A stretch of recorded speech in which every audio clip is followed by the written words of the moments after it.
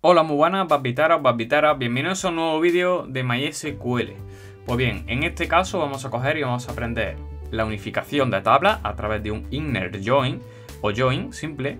Y para ello, eh, como veis, estamos dentro de MySQL Workbench y para ello pues voy a usar la base de datos tan conocida llamada Sakila. Pues bien, para ello simplemente vamos a realizar una consulta. Vamos a poner select, vamos a aumentar en este caso el tamaño para que lo podáis ver bien.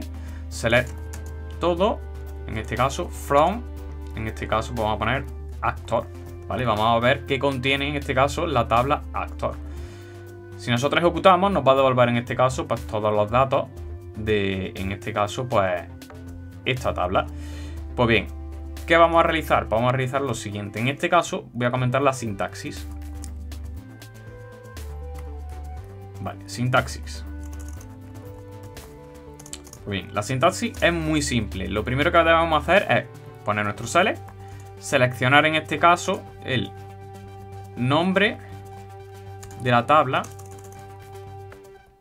o el nombre de la columna, mejor dicho, más, en este caso, una especie como de atributo o nombre que nosotros le asignemos.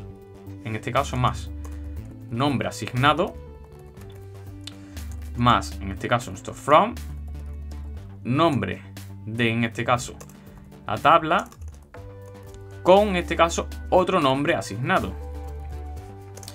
Ahora bien, ¿qué vamos a realizar? Posteriormente vamos a poner inner join. Vamos a, en este caso, referenciar la segunda tabla que vamos a realizar. En este caso, más segunda tabla más, importante, en este caso, el nombre que le vamos a asignar a la segunda tabla. A ver, asignado. Más, en este caso, on. Importante.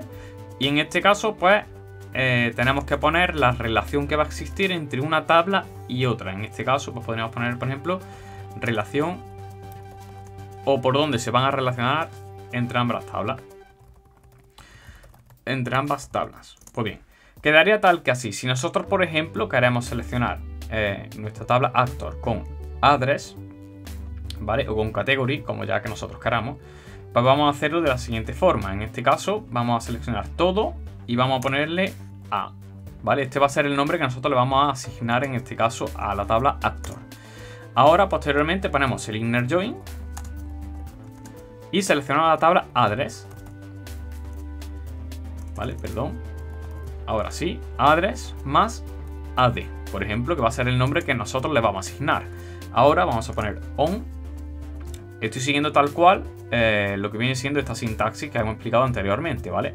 Voy a cogerlo y voy a aquí para que más o menos lo podáis observar, para que veáis que es absolutamente igual.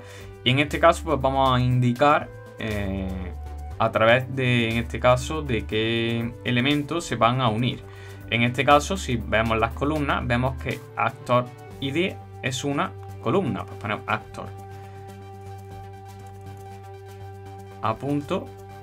Y ponemos actor ID, que en este caso va a ser la que nosotros vamos a realizar, va a ser igual a, y en este caso, pues nos tendríamos que fijar en este caso en las columnas que tiene nuestra tabla address.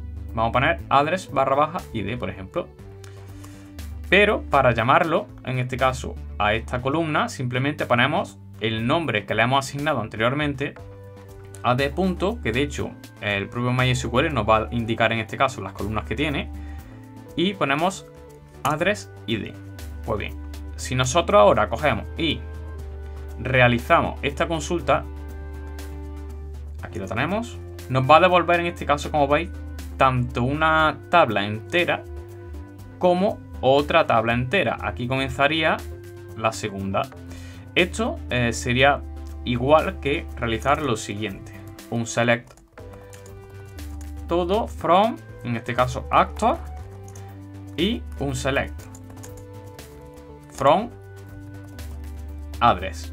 Si nosotros cogemos y unificamos en este caso esta tabla más esta otra nos va a devolver esto. Es decir, como veis, si unificamos las dos consultas anteriores, nos va a devolver esto. ¿Esto para qué nos sirve? Pues para realizar una consulta mucho más específica y más escueta a la hora de querer eh, obtener una serie de datos específicos. ¿Qué pasa? Que en este caso hay que tener mucho cuidado respecto a la, a primary key y la foreign key que la vimos anteriormente. Y, hay que tener cuidado porque a veces incluso si, no, si ponemos otra clave eh, distinta a la que realmente corresponde, pues en este caso o no nos devuelve nada o nos devuelve una consulta, en este caso sería equívoca, ¿vale?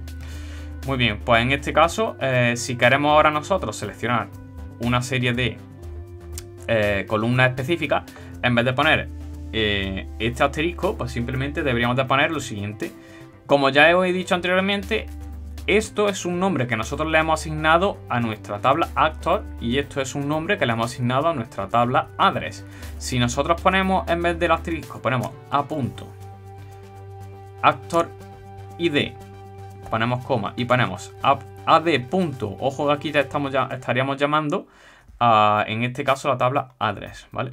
Si ponemos ad punto, en este caso eh, address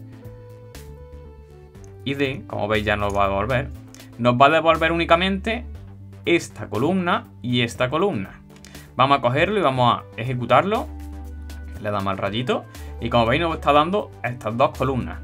¿Qué pasa? Que, ¿Cuál es la diferencia? Pues en este caso nos está devolviendo dos columnas totalmente distintas de tablas distintas, pero que están unidas en este caso a una búsqueda que nosotros queremos realizar. Esa sería la gran diferencia.